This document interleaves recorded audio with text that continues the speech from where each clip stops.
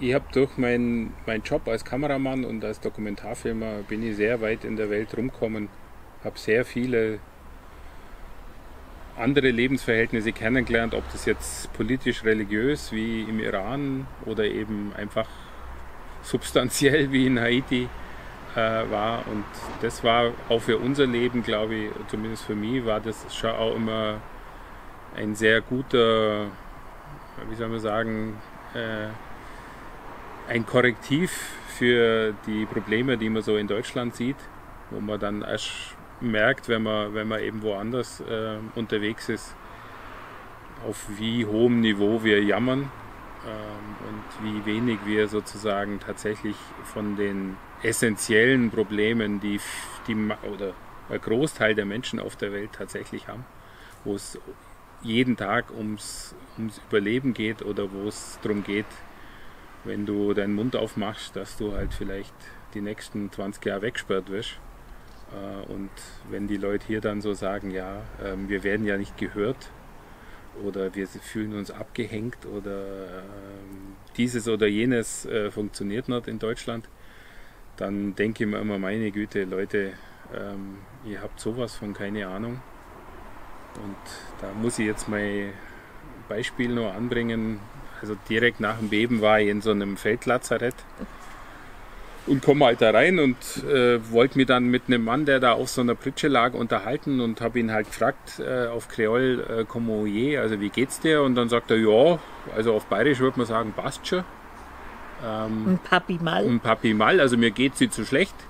Und dann hat er so die Decke hochgeschlagen und dann habe ich gesehen, dass beide Beine oberhalb vom Knie amputiert waren. Und dann habe ich versucht, in meinem schlechten Kreolisch ihm zu erklären, oh Mann, wenn bei uns ein Erdbeben wäre und es wird, würden Dachziegel vom Dach fallen und würden aufs Auto fallen und die Haube wäre zerkratzt und die Versicherung würde sagen, oh nee, das, den Schaden, den können wir leider nicht begleichen, das müsst ihr selber zahlen. Ähm, dann würden wir in Deutschland jammern und würden sagen, um Gottes Willen, wie schlecht ist unser Gangen. Ähm, und du liegst da, ähm, beide Beine amputiert und er hat dann erzählt, ja, zwei seiner Kinder tot, von zweien weiß er nichts. Die Frau liegt im Zelt nebendran. Das Haus ist kaputt. Und was ist die Perspektive von jemandem in einem Land, wo es sowas wie ein Gehsteig nur theoretisch gibt, also wo eigentlich jeder Weg nur ein schlechterer Feldweg äh, bei uns wäre? Was hat er für Perspektive mit zwei amputierten Beinen? Selbst wenn er einen Rollstuhl von irgendeiner Hilfsorganisation kriegt, dann kann er seine Familie nicht ernähren, kann, kann damit auch kann, fahren. Kann er nicht kann wirklich, nur sitzen. Kann nicht wirklich sitzen und habe versucht, ihm das zu erklären, wie beeindruckend ich das finde, dass er sagt, ja, es geht ihm ja gar nicht so schlecht. Und dann hat er mir angeschaut und hat gesagt, ja, Blanc, also Fremder, Weißer, ich lebe doch noch. Also ich habe es doch überlebt.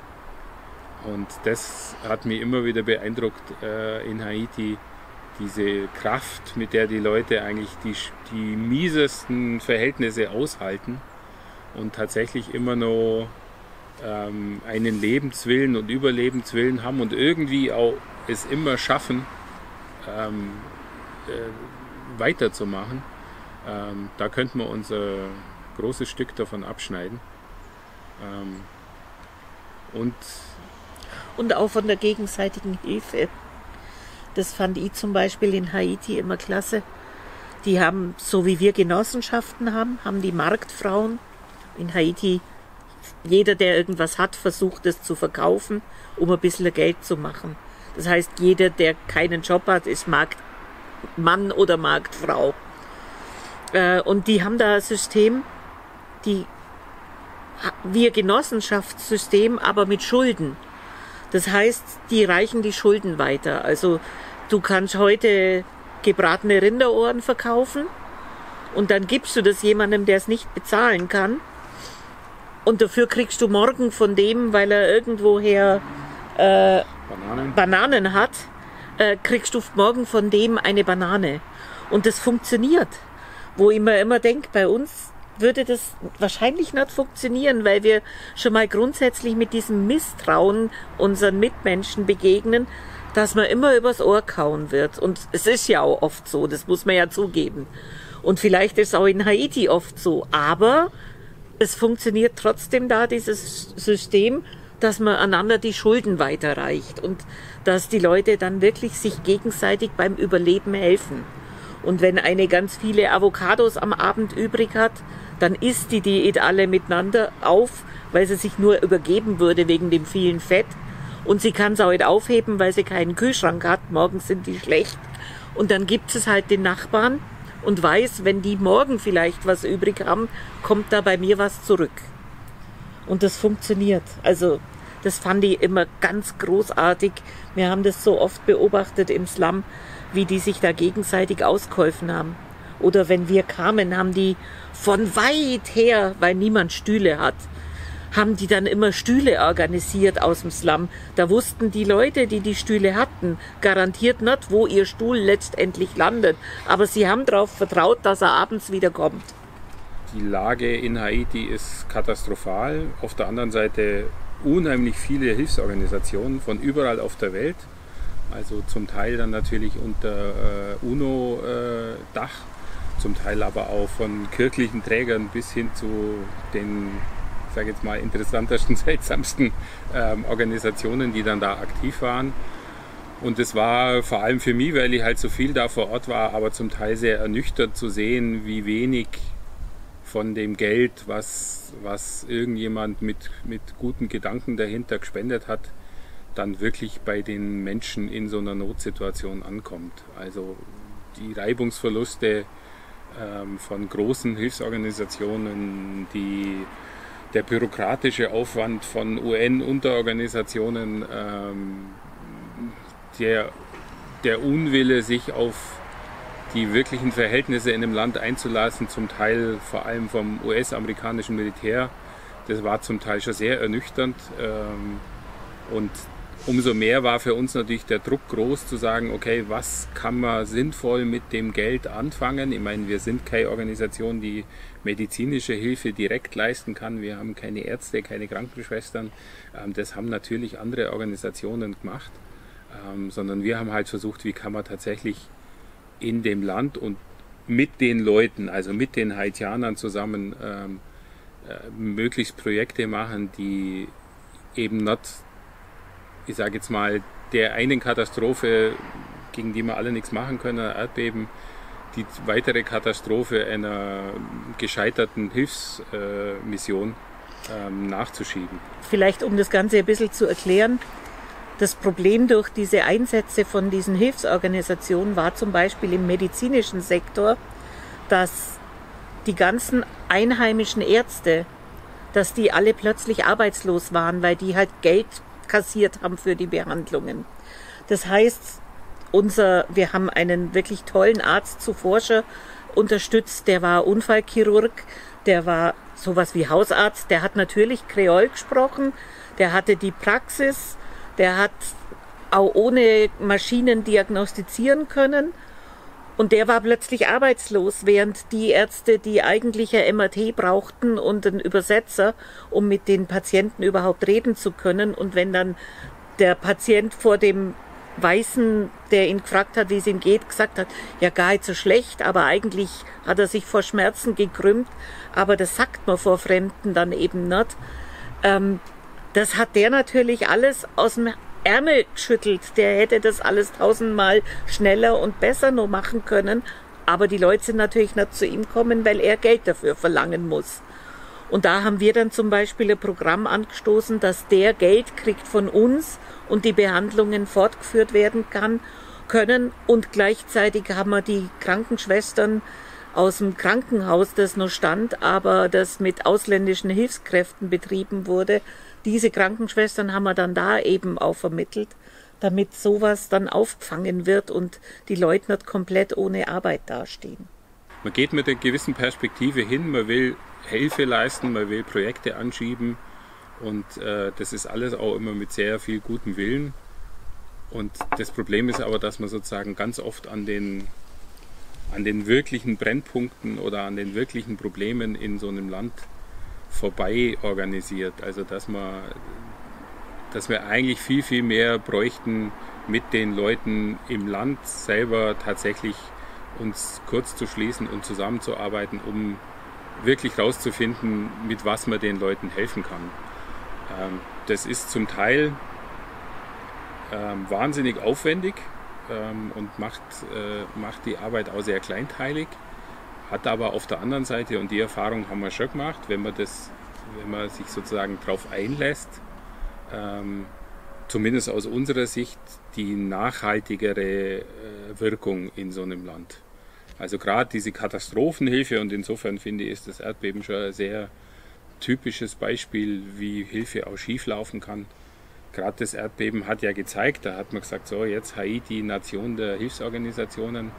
Wo stehen wir jetzt in Haiti? Ähm, äh, vollkommen desolates Land, äh, politisch wie sozial, äh, vollkommen äh, vor die Hunde gegangen und äh, die UNO und viele Hilfsorganisationen, die ja auch weiter in Haiti äh, gearbeitet haben, stehen eigentlich vor dem Scherbenhaufen und haben überhaupt keine Perspektive, wie sie eigentlich in dem Land überhaupt nur arbeiten sollen, wie man, wie man den Leuten helfen kann. Ähm, und insofern ist das, glaube ich, schon ein Punkt, wo man tatsächlich ähm, auch sehr, sehr genau immer überlegen muss, ähm, was, was, was hilft tatsächlich, was wir sozusagen den Leuten anbieten und äh, funktioniert das länger als eben diese kurzfristige Katastrophenhilfe, die ja wichtig ist. Also ich muss ja die Leute erstmal, äh, die verschüttet sind, bergen. Ich muss die medizinisch versorgen. Das ist alles. Retten. Bergen ja, tut man die Toten. Äh, retten. Ähm, das ist ja alles wichtig und richtig, aber es kommt sehr schnell der Punkt nach so einer Katastrophe, mhm. wo die Hilfe dann oft kippt und sozusagen eher nur das bisschen an, an lokaler Wirtschaft oder an, an äh, Strukturen dann eher noch kaputt macht, weil man eben von außen irgendwas drüber stülpt, was aber nicht hinterfragt ist, ob es mhm. tatsächlich funktioniert. Vielleicht nur ein bisschen zur Einordnung. Haiti war vor dem Erdbeben schon eins von diesen 20 ärmsten Ländern der Welt, wo man keinen Unterschied mehr macht, wie arm sind die Leute. Ähm, weil es einfach, weil die alle gleich arm sind, egal ob es jetzt Afghanistan oder Haiti ist. Ähm, und durch das Erdbeben ist es auch noch politisch extrem instabil geworden, weil die ganzen Ministerien alle äh, zerstört wurden und im Endeffekt ist, geht seither immer noch mehr bergab und die vielen Versprechungen, was an Wiederaufbauhilfe fließen soll, da ist nichts, nichts Offizielles angekommen. Also das ist schon sehr bitter. Und wir hatten zum Beispiel vor dem Erdbeben, also als wir den Film 1996 in Haiti gemacht haben, haben wir eben im Slum gearbeitet, Cité Soleil, der größte Slum der Welt. Ähm, und das, also die Lebensbedingungen von den Leuten da, die kann man sich nicht vorstellen. Da waren Erwachsene, die hatten nichts zum Anziehen. Da waren Familien, die haben in einem Karton gelebt und da regnet es ganz genauso. Natürlich haben es keinen Winter, aber es ist kein, also es ist ein absolutes Drama, so arm leben zu müssen. Man sagt, in Haiti leben wie viel 50 Prozent der Menschen mit weniger als einem Euro am Tag. Also man kann eigentlich das nicht als Leben, sondern als Überleben nur bezeichnen. Ähm, Brot hat sich schon niemand mehr seit der Jahrtausendwende leisten können in Haiti, also die Normalbevölkerung. Äh, sowas wie selber kochen ging auch schon immer. Man hat wirklich nur noch zunehmend an so Straßengarküchen sich was zu essen kauft, wenn man das Essen hatte, äh, wenn man das Geld dafür hatte. Also weil man kann sich entweder die Zutaten oder die Holzkohle leisten und andere Energieträger, um zu kochen, gibt's nicht. Und Holzkohle ist inzwischen so teuer, dass die wenigsten Familien sich überhaupt nur das Kochen leisten können. Und in der, in der Situation haben wir eben angefangen, in Haiti tätig zu werden. Da haben wir Babys aus den Latrinen gefischt, die da ich sage jetzt mal, weggeworfen wurden. Nicht, weil die Menschen schlecht wären, sondern weil sie einfach absolut nichts an, an finanziellem Rückhalt hätten um dann sowas wie Babynahrung kaufen zu können. Und diese Babys haben wir in die Uniklinik gebracht, das einzige Krankenhaus in Haiti, wo man kostenlose Behandlung kriegt, ähm, aber wo es keine Küche gibt. Das heißt, die normalen Patienten, die da behandelt werden, da liegen unter dem Bett die Familien, die dann das Essen bringen und die Medikamente bewachen von den Patienten. Und von so Findelkindern, wie wir sie daherbracht haben, die liegen dann da auf der Intensivstation bei den Babys. Und dann kommt einmal in der Woche kommt ein Pfarrer und sagt, das Kind nehme ich mit, das ist zu schlecht, da ist die Prognose, dass das überhaupt überlebt, nicht gut, das darf hier sterben. Ich sage jetzt mal gesund gepflegt verhungern. Ähm, und wenn nicht irgendwelche Schwestern vielleicht mal irgendeine Kleinigkeit mitbringen, dann werden diese Babys tatsächlich, dann verhungern diese Babys in der Uniklinik. Das sind Situationen, die kann man sich nicht vorstellen. Wir haben einen Mann nach einer Schießerei in, im Slum getroffen, der hat, kam irgendwie und sah ganz normal aus, kam auf seinen zwei Beinen auf uns zu und hat mir dann, also ich sprich Französisch, hat mir dann angesprochen, ob ich ihm helfen könnte. Und dann habe ich gesagt, ja, was, also ich kann es versuchen, ich weiß nicht, worum es geht.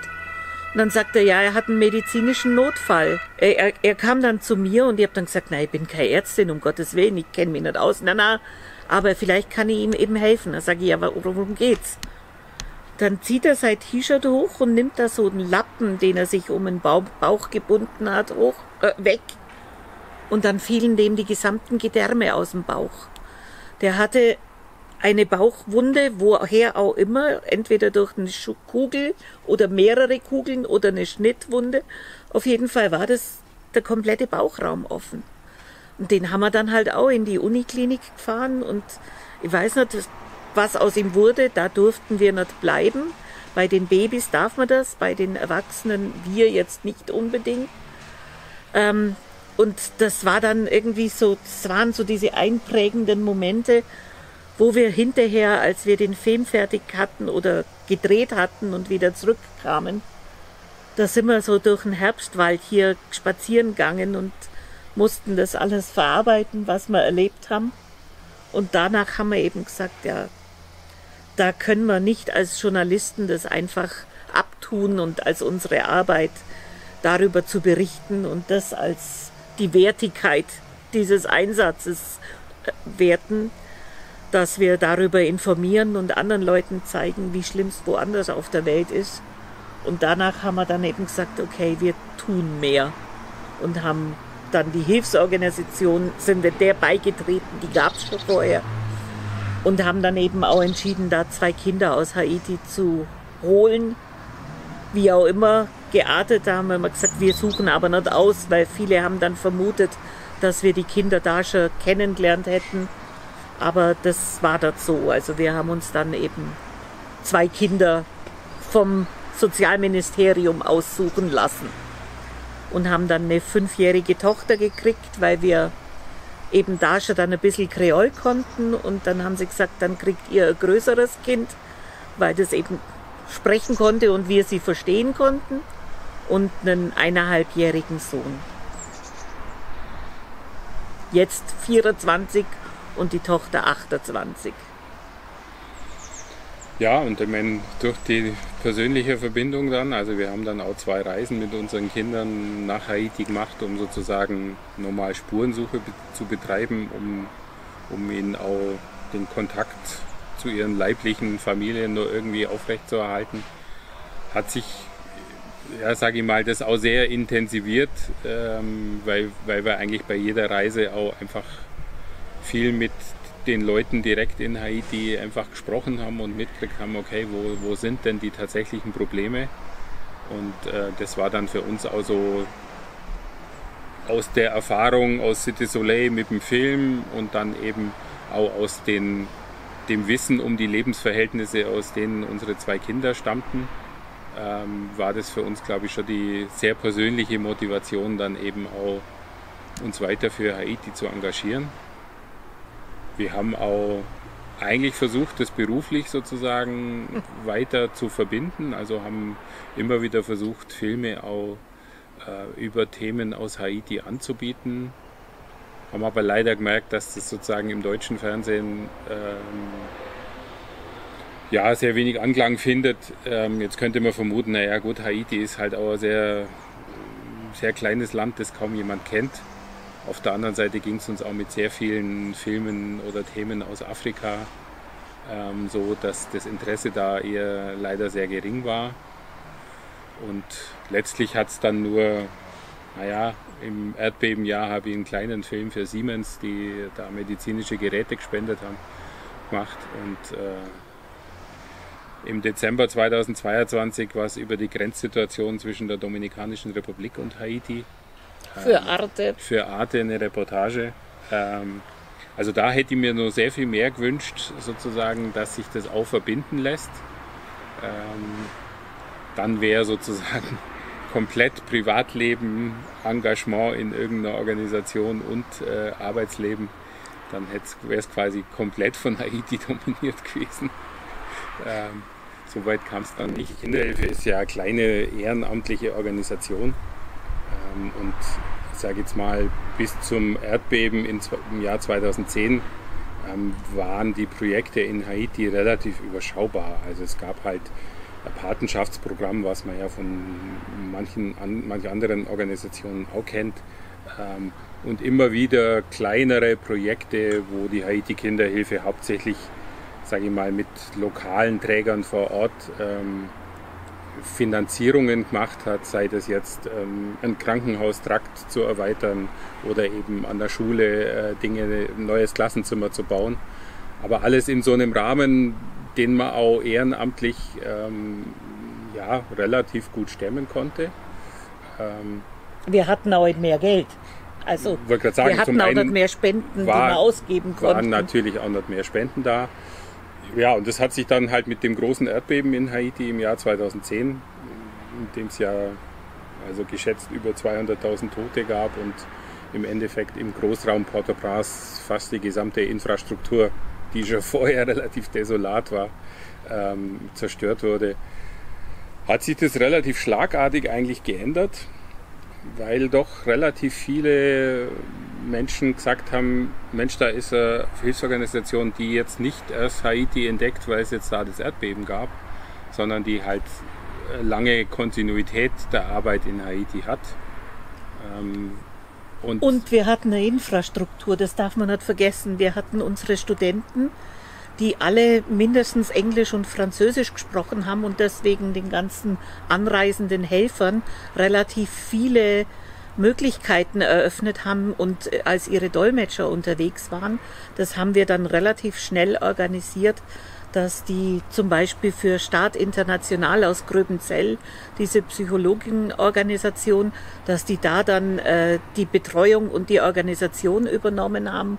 Oder wir haben in unserem Krankenhaus, das wir da ausgebaut hatten, die Médecins Sans Frontières aus Belgien war es letztendlich, mhm. äh, äh, organisiert, weil unser Krankenhaus inmitten der Trümmer stand wirklich nur noch dieses Krankenhaus, weil es einfach solide gebaut war.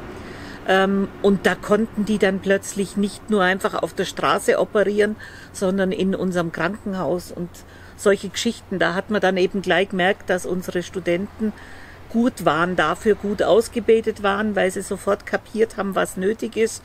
Wenn sie nicht so ganz klar waren, haben sie auch wieder mal Rücksprache mit uns gehalten. Aber es ist eben zu einem relativ ja, schlagkräftigen Einsatz sofort gekommen. Also das war ziemlich toll gleich am Anfang. Jetzt fragt man sich wahrscheinlich, dann haben sie sich so engagiert und auf einmal war dann Schluss.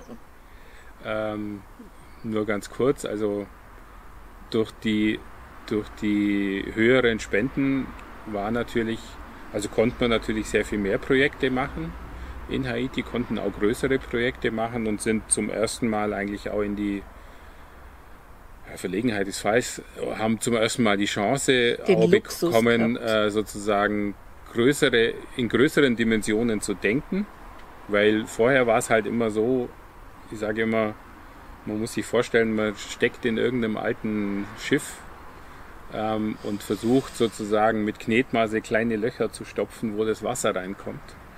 Ähm, und ist natürlich froh um jedes kleine Löchlein, das man zumacht. Ähm, aber daneben ist eigentlich so ein Scheunentor großes Loch, wo das Wasser reindrückt. Und das muss man aber ignorieren. Man muss quasi immer an den kleinen Löchern äh, stopfen und äh, ohne zu bemerken, dass eigentlich die, die viel größeren Löcher sozusagen gar niemand, um die sich gar niemand kümmert. Und da hatten wir zwar eigentlich so die Idee, sozusagen tatsächlich auch mal mit, der, mit den Kontakten in Haiti, mit der Kenntnis vor Ort, ähm, auch eben öffentliche Gelder, also sprich in dem Fall wäre es vom Entwicklungshilfeministerium gewesen, ähm, Gelder zu, zu beantragen, um ein sehr großes Projekt, nämlich tatsächlich ähm, bis zu 500 Schulen in Haiti mit Biogastoiletten auszustatten. Ähm, und das haben wir versucht sozusagen in unserem Verein ähm, vorzustellen. Leider war da sozusagen die, die Idee von den meisten anderen eher so, nee, nee, das ist einfach fünf Nummern zu groß für uns. Das wollen wir nicht. Wir wollen quasi eigentlich eher wieder kleiner werden und wieder ähm, Projekte wie Form Erdbeben machen.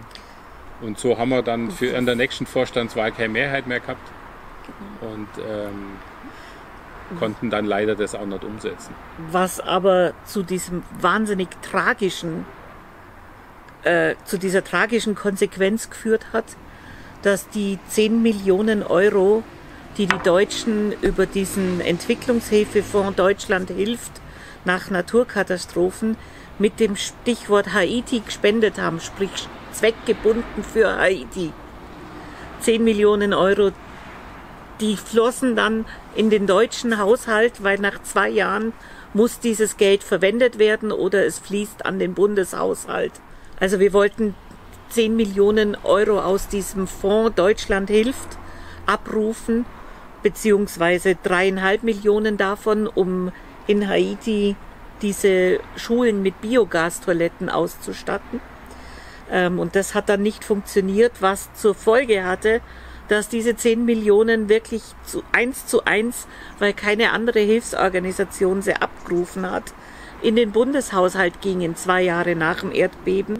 Und das fand ich schon eine unglaublich traurige Nummer, weil wir hätten mit diesen Biogasanlagen an den Schulen so viel systemisch verändert, finde ich. Also die Leute, die Schulen in Haiti haben Latrinen. Das heißt, da kommt es immer wieder mal zu Krankheitsausbrüchen, weil es einfach unhygienisch ist.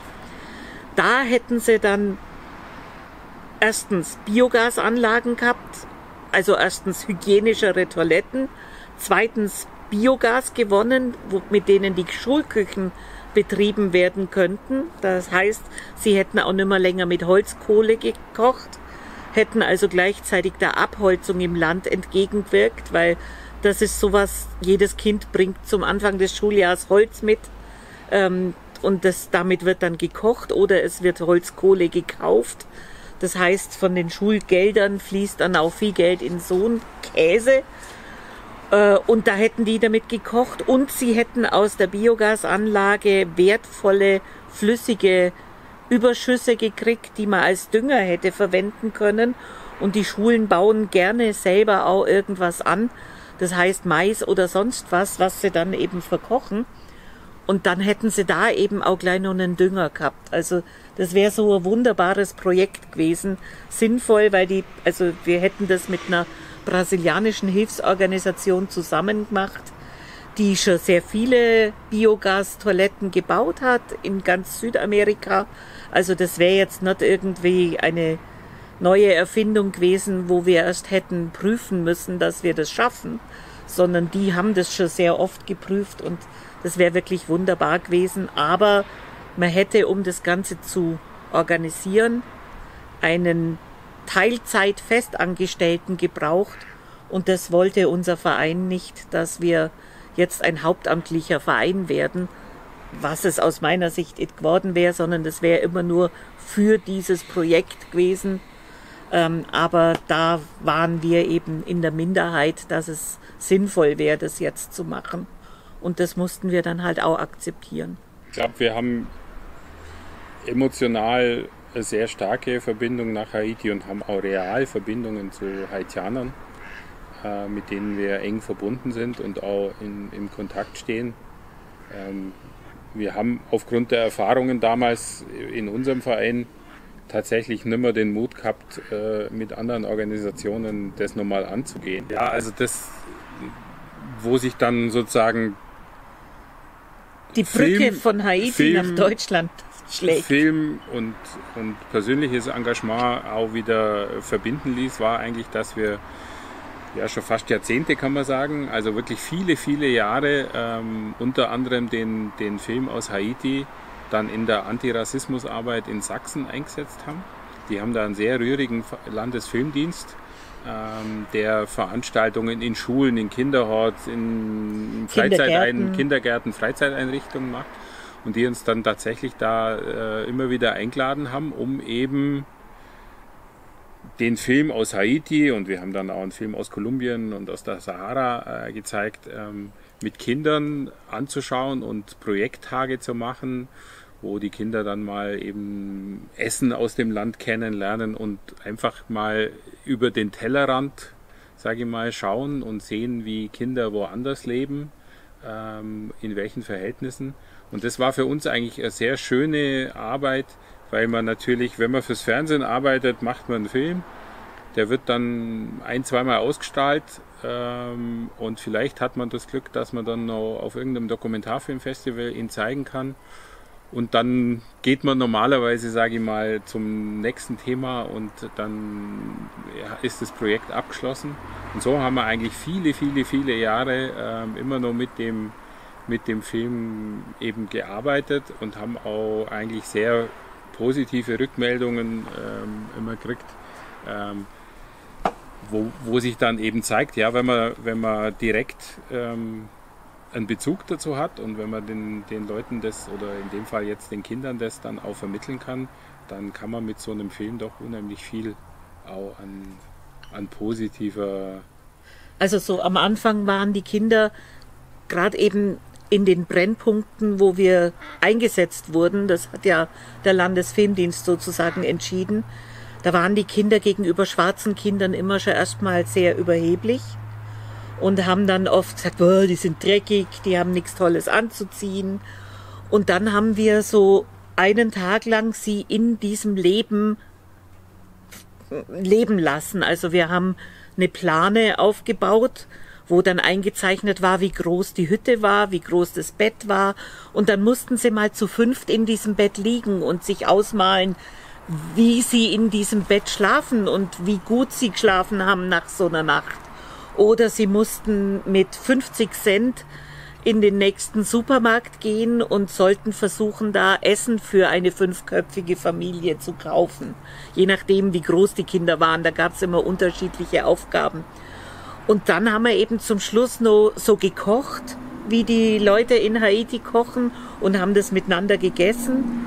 Und am Schluss waren eigentlich die meisten Kinder extrem interessiert und haben ganz andere Fragen gestellt, als sie in der Früh so geäußert haben, wie blöd eigentlich die Schwarzen sind, weil sie eben kein tolles Auto fahren oder keine tollen Klamotten oder Turnschuhe haben. Und das war schon, also da konnte man wirklich den Wandel im Lauf des Tages, konnte man sehr gut sehen. Und der Landesfilmdienst hat immer gehofft, dass sie am Ende nicht deutschnational wählen werden, sondern vielleicht ein anderes Wahlergebnis rauskommt. Und insofern schließt es schon aus so eine Lücke von Haiti nach Deutschland und von der Filmarbeit und der Gesellschaft hier in Deutschland, äh, dass man vielleicht doch ein bisschen mehr über den Tellerrand schauen sollte, bevor man radikale Positionen einnimmt.